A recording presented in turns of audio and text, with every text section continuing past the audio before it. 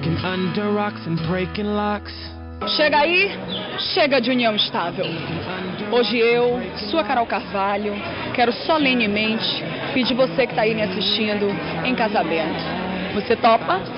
Até porque, vamos combinar, a gente já se encontra de segunda a sexta quase dois anos, portanto nós somos praticamente casados. Mas ó, pra gente oficializar a nossa união, eu já estou aqui de modelito totalmente futebolístico, já que 2014 é o ano da Copa Sim. Olha, eu tava parando para pensar, casamento e Copa do Mundo têm suas semelhanças. Todo mundo entra para ganhar, né, gente? Já que nós estamos assim, de casamento marcado, vamos fazer o seguinte: eu convido vocês do outro lado para fazer um passeio comigo pela Casar Bem, que é uma feira que acontece todos os anos, apresentando aí tudo o que você precisa ao planejar um casamento ou outras festas não menos glamurosas. Ai, gente, vem pra cá, chega aí!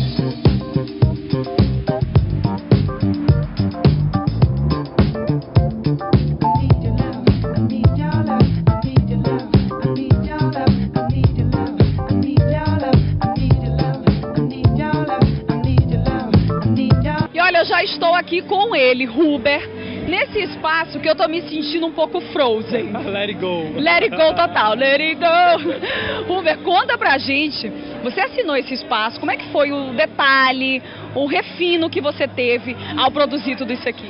Então, assim, é uma grande alegria, um orgulho a gente aproveitar esse evento, que já tem uma representatividade no cenário de eventos de São Luís, para mostrar essa versatilidade que o decorador precisa ter. O nosso stand, a gente se inspirou no Frozen, que está na moda, né? A nova produção da Disney, é uma febre, é um tema maravilhoso, super inspirador, mas a gente quis mostrar essa versatilidade, a gente preparou um projeto, de certo modo, híbrido, que pudesse servir para um casamento, para um 15 anos, para um aniversário infantil, um batizado, enfim, de acordo acordo com a, né, com a expectativa da cliente. Gente, tá um luxo, vamos combinar? Olha só o detalhe, o cara foi tão detalhista, ele foi tão além, que até o, o chão foi detalhado com pelúcias, então foi recoberto com pelúcia. Então a gente já tem a sensação de que tá num frio, apesar de estar tá num calor que eu vou te contar. Gente, vamos mostrar mais? Você pode mostrar aqui com a gente? Olha só o capricho da mesa. Muito legal, gente. Olha, muito capricho em tudo. Se você parar para olhar cada detalhe, essa mesa é bem grande, você aí de casa pode perceber. É uma mesa bem grande. Então, se você for observar cada detalhe, você vai ver que o resultado da obra total faz muita diferença e encanta. Encanta quem se aproxima, encanta com certeza qualquer adversariante. Não tem como você não virar criança e não encarar um Frozen desse. Rubem, obrigada, parabéns. Obrigado você, Carol. Um beijo para todos.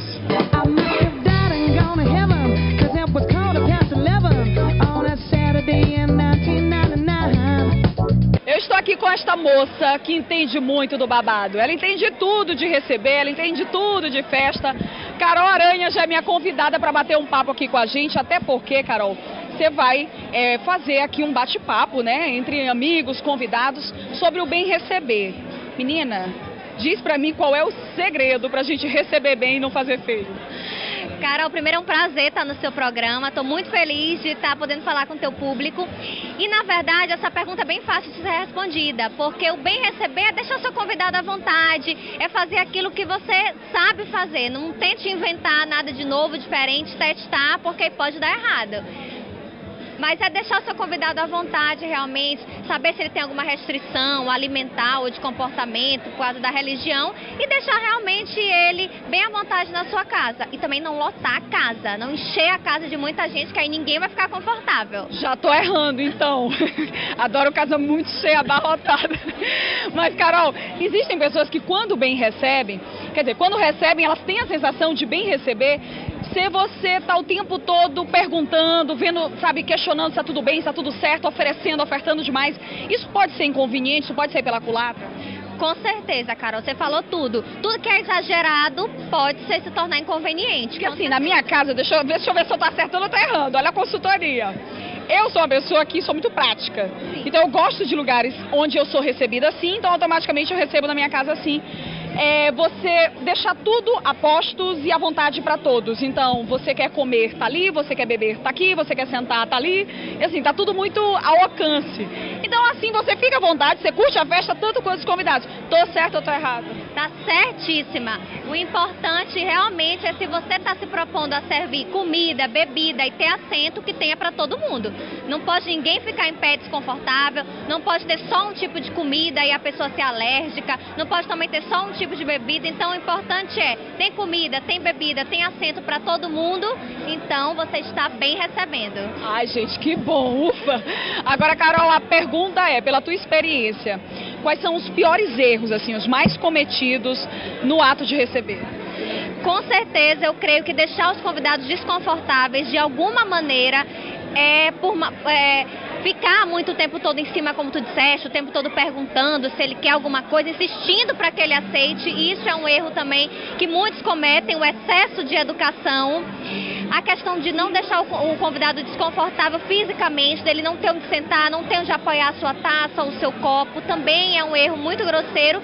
E não entender o seu convidado. Tem convidados que gostam de ambientes formais, tem convidados que gostam de ambientes informais. Então, se você está recebendo na sua casa ou em qualquer lugar que seja, você tem que, no mínimo, saber o que, que aquela pessoa mais gosta, para você fazer o mimo de poder acarinhá-lo fazendo aquilo que ele gosta, tratando com formalidade ou com informalidade, oferecendo um chocolate preferido dele. Esses detalhes, entender o seu convidado, para que ele possa se sentir honrado também de estar ali na sua casa. Agora, Carol, aconteceu a festa, todo mundo curtiu, quem comeu, comeu, quem bebeu, bebeu, entendeu? Tomou seus bons drinks posso no final dizer, negada, agora vamos lá, vamos ajudar para dar uma geral na casa, é feio. Carol, assim, realmente não é muito usado. Vamos tratar assim, dessa forma, não é muito usado. Mas se você tiver um grau de intimidade, até os próprios convidados se oferecem para lhe ajudar. Mas o ideal mesmo é que você deixe tudo a postos e não fique o tempo todo na cozinha, demonstrando que você está tendo é. muito trabalho. Porque Isso incomoda o convidado, né? Incomoda demais o convidado, perceber que você está tendo muito trabalho, que você está suando para fazer aquilo ali. Então, isso que você diz que gosta de fazer, que é colocar tudo ali a postos, é o ideal. É o famoso se vira, negão. é mais nem ou menos. tanto, nem tanto, mas é mais ou menos isso sim, é deixar a pessoa o mais à vontade possível. Muito bom, viu, gente? Dicas ótimas de quem entende do assunto. Obrigada, Carol. Eu que agradeço.